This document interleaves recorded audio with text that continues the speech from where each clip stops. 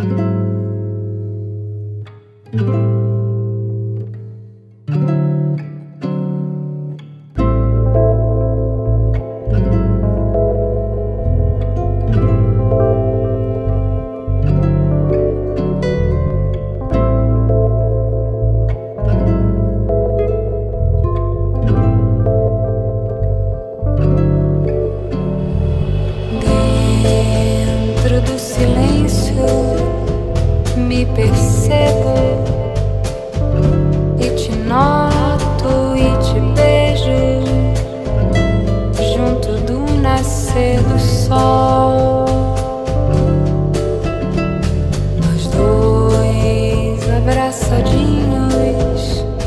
na varanda